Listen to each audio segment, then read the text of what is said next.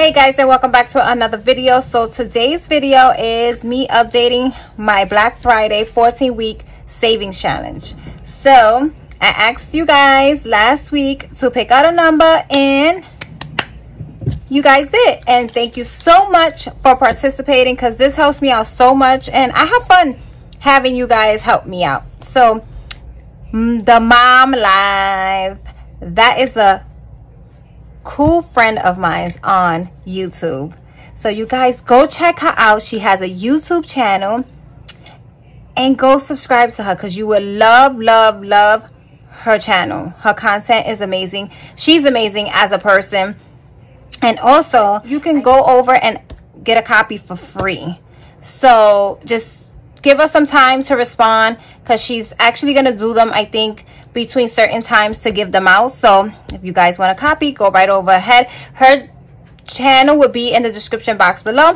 So the number for this week would be $29. $29 guys and I got my $29 right here 20 25 26 27 28 29 so let's count what's in here so we can see I'm trying to hurry up because they playing music across the building and I'm not trying to get copyrighted so trying to make this video quick. So let's color real quick.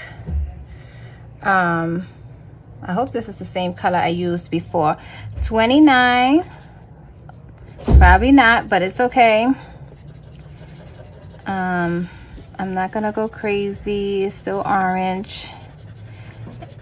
And i'm still coloring my boxes my little bags here for black friday I haven't decided what I'm gonna do with this money yet um, which I'm trying to decide before um, it ends. So I can let you guys know but you guys will know what I'm gonna use these $500 I know it's for Black Friday but I do have a envelope for Christmas. So let's see. I might use half. I might use some of it from this challenge but let's see how much we have 20, 40, 60, 80, 90, 100, 10, 20, 30, 40, 50, 51, 52, 53, 54, 55, 56, 57. 157 dollars.